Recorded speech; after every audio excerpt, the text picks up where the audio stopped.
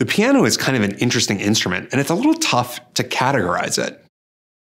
When we categorize musical instruments, it's pretty frequently done by the way that they physically make a sound, like plucking or bowing a string, hitting a drum head, or blowing air through a brass horn, for example. So then the piano is a bit of an odd duck.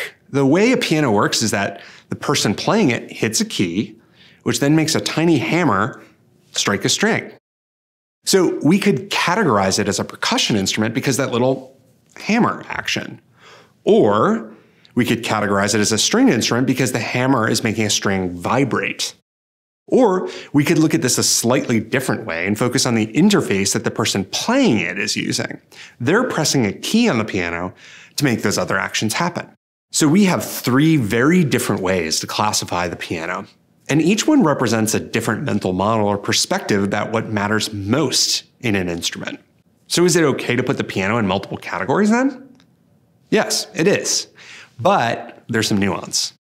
When we classify an item into multiple categories, we call that polyhierarchy. And we use it in a lot of digital products for navigation and categorization. It's perfectly fine to do that to help support different mental models or expectations. But we need to be careful. Because if we do this for everything, we start to make it harder for people to find what they're looking for.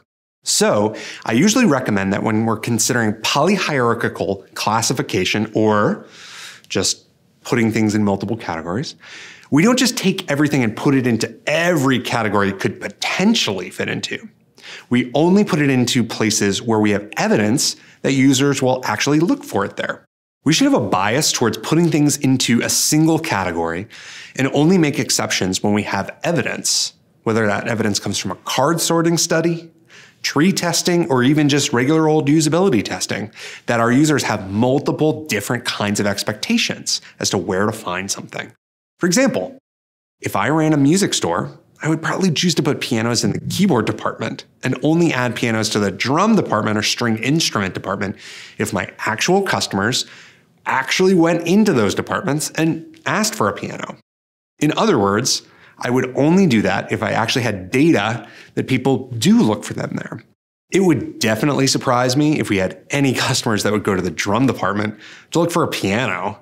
So why would I add it there if no one expects to find it there? It would just make things more confusing for everyone.